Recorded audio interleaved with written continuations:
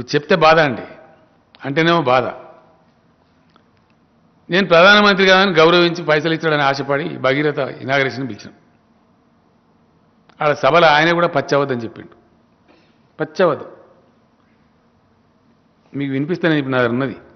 గజ్వేల్ సభలో ఆయన మాట్లాడిన స్పీచ్లో మీ దగ్గర కూడా రికార్డు ఉంటుంది కాబట్టి మీకు అంత బాధ కూడా అవసరం లేదు. ఫిఫ్టీన్త్ మినిట్ నుంచి స్టార్ట్ అవుతుంది అనేది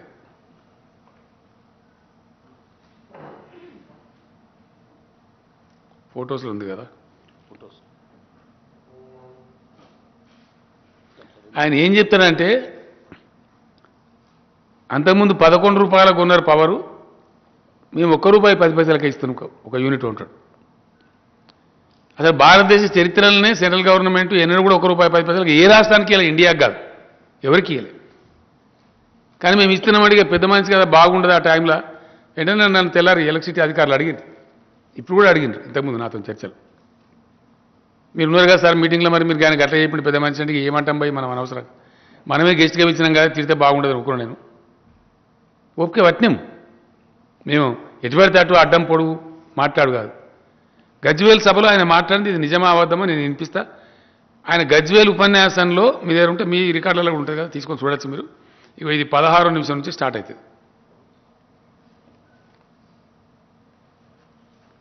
कि भारत सरकार और हमारे पीयूष गोयल जी और उनके मंत्रालय ने दो साल में ऐसी स्थिति पैदा की है कि जो राज्य बिजली के कमी के कारण परेशान थे ऐसे राज्यों को भी बिजली सरप्लस स्टेट बना दिया गया है अगर इरादा नेक हो सामान्य मानवीय की आवश्यकताओं की पूर्ति करने का इरादा हो तो समस्याओं के भी निकल आते हैं। और अभी पीयूष जी मुझे बता रहे थे कि पहले अगर तेलंगाना को बिजली खरीदनी होती थी तो एक यूनिट का करीब करीब 11 साढ़े ग्यारह रुपया लगता था। एक यूनिट का 11 साढ़े ग्यारह रुपया।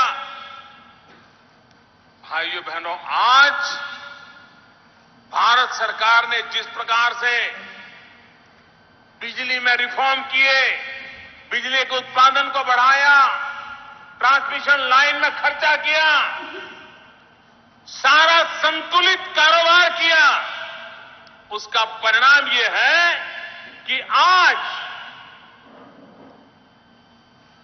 कुछ समय पहले जो बिजली एक यूनिट ग्यारह, साढ़े ग्यारह रुपये में मिलती थी। आज, मैं आज अभी इसी तारीख, एक रुपया दस पैसे में मिलती है। राज्य की खजाने के किताब मैं हाथ जोड़ के पूछ रहा हूँ, मोदी जी, आपके आठ साल के सरकार में कहीं भी एक रुपए दस पैसे में यूनिट पावर सप्लाई आपने किया है क्या? ये इतना झूठ। इतनी बड़ी झूठ। और देश के प्रधानमंत्री कहे खुलेआम। तो देश के जनता को क्या समझते हैं ये लोग? किस प्रकार से गुमराह करते हैं? इसको क्या समझना चाहिए? आप आप पत्रकार लोग आप सुने हैं आपके पास है ये रिकॉर्डेड है आप अपने घर में जाके भी सुन सकते हैं ये मेरा स्पीच नहीं है यानी कि राष्ट्र राज्य के अध्यक्ष से लेके प्रधानमंत्री तक सारा ही झूठे झूठ सफेद झूठ झूठ निर्भर భారత్ ఇదేం అన్యాయం అండి ఇట్లా ఎన్ని విషయాలలో చెప్తారు నిన్న నేను ఒక మాట చెప్పిన. దాని మీద ఎవరు మాట్లాడరు బీజేపీలు. నేను అన్న కూడా ఛాలెంజ్ కూడా చేసిన. ఎవరు మాట్లాడతారో బీజేపీలు రానరా మాట్లాడదాం. నాలుగు లక్షల మెగావాట్ల పవర్ ఉంది దేశంలో. దాన్ని వాడే తెలివితేటలు ఈ కేంద్ర ప్రభుత్వానికి లేవు. బ్యాడ్ పవర్ పాలసీ ఉంది అని నేను చెప్పాను. దానికి ఎవిడెన్స్ కూడా ఇవ్వ. మీకు ఇచ్చిన కాగితాలలో ఉంది. ఇది పార్లమెంట్ స్టాండింగ్ కమిటీ గత డిసెంబర్లో పార్లమెంట్కి సమర్పించిన డాక్యుమెంట్ నలభై వేల మెగావాట్ల పవర్ ఉత్పత్తి సంస్థలు దేశంలోని వివిధ ప్రాంతాలలో లిస్ట్ ఉంది మీ దగ్గర చూసుకోండి మీరు. మీకు ఇచ్చిన మేము. నలభై వేల మెగావాట్ల విద్యుత్ ఉత్పత్తి చేసే సామర్థ్యం ఉన్న సంస్థలు నిర్మించబడ్డాయి పీపీఏలు అయిపోయినాయి దానికి ఫ్యూయల్ టైప్ అయింది కానీ ప్రొడక్షన్ కాదు కానిస్తలేరు. ఎందువల్ల? ఈ దేశం అవలంబించే ఒక దిక్కుమాలిన పవర్ పాలసీ వల్ల బ్యాడ్ పవర్ పాలసీ వల్ల చేతగాని కేంద్ర ప్రభుత్వం యొక్క దద్దమ్మ చర్యల వల్ల ఇట్లా ఉంటుందా? ఈ దేశంలో ఉండొచ్చునా? అరవై శాతం దేశమేమో పవర్ కట్స్లో ఉంటుంది. ఇరవై నాలుగు గంటల కరెంటు ఏ రాష్ట్రం లేరు ఒక తెలంగాణ తప్ప. ఇది వాస్తవం. ఇది మాట్లాడితే దీని మీద మాట్లాడరు ఎవరు?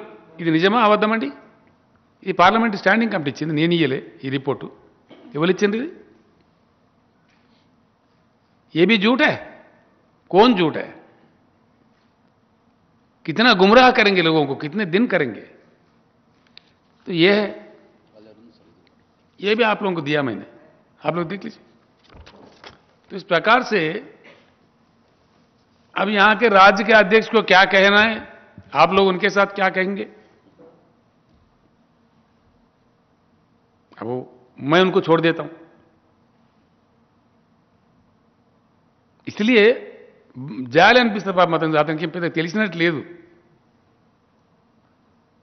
అతను వేరే వాళ్ళతో మాట్లాడిపిస్తే మంచిది గాసాన బాగా నాతో మాట్లాడతాడు ఎందుకంటే నేను ఏది పిచ్చి మాటలు మాట్లాడను అవసరం లేదు కదా నాకు పిచ్చి మాటలు మాట్లాడే అక్కర నాకు లేదు ఉన్నది ఉన్నట్టు మాట్లాడతాను ఇగో ఇంత దుర్మార్గంగా ప్రతి వాళ్ళు ఆ పార్టీకి చెందిన ప్రతి వాళ్ళు ఇదే పద్ధతిలో ప్రతి విషయంలో చాలా దారుణమైనటువంటి అబద్ధాలు మోసాలు దేశాన్ని సర్వనాశనం చేస్తూ ఉన్నారు. ఎస్ హండ్రెడ్ పర్సెంట్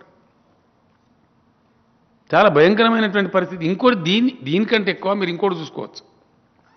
ఇవన్నిటిని మించి మొత్తం అఖిల భారత విద్యుత్ సంస్థల ఉద్యోగ సంఘాలన్నీ ఒకటే సమావేశాలు పెట్టినాయి. మీకు తెలుసా విషయం?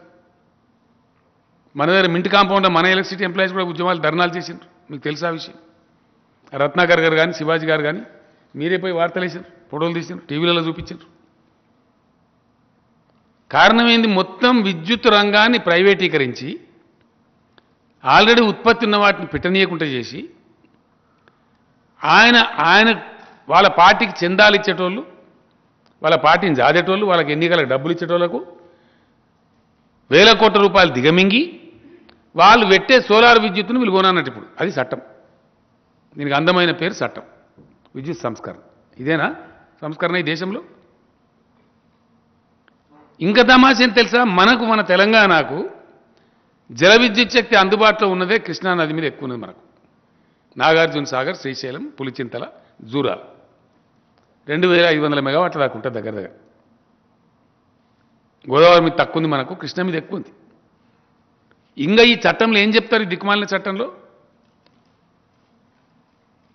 వాళ్ళ బీజేపీ మిత్రులు పెట్టే ముప్పై నలభై వేల మెగావాట్ల సోలార్ పవర్ ఏమో కొనన్నట మనం క్లీన్ ఎనర్జీ కింద. మనది క్లీన్ ఎనర్జీ క్లీన్ ఎనర్జీ అయినా మీ నాగార్జున సాగరు మీ శ్రీశైలం ప్రొడ్యూస్ చేసే పవరు బంద్ పెట్టైనా సరే దీన్ని కొనాలి. కొనకపోతే మీకు ఫైన్ ఇస్తాం ఇది చట్టం. అయితే అధికారం చేతిలో ఉందని మీ పెట్టుబడిదారుల యొక్క స్వార్థ ప్రయోజనాల కోసం ప్రజల ప్రయోజనాలు తాకట్టు పెడతారా? ఈ దేశ ప్రయోజనాలు తాకట్టు పెడతారా? అన్ని తప్పుడు ప్రచారాల మీద అబద్ధాల మీద ఎన్ని రోజులు నడుపుతారు భారతదేశాన్ని? ఇది ఎంతవరకు సమంజసం? ఇవి వాస్తవాలు కావా? పెట్టండి చర్చ పెట్టండి దీని మీద. ఒకటి గాలి గాలి మాటలు మాట్లాడు కాదు. ఇన్ని విషయాలు నేను చెప్తున్నా కదా ఇప్పుడు. ఇవన్నీ ఇవన్నీ అబద్ధమనేగా మేము ఇచ్చేటి అన్ని నివేదికలు standing committee reports parliament reports మంత్రుల ఉత్తరాలు ప్రధానమంత్రికి నేను రాసిన ఉత్తరాలు శాసనసభ తీర్మానాలు శ్రీకాకుళంలో మిగిచ్చిన బీటర్లు శ్రీకాకుళంలో ఇరవై ఐదు వేల మీటర్లు మిగిచ్చింది కూడా అబద్ధం ఉంటుందా?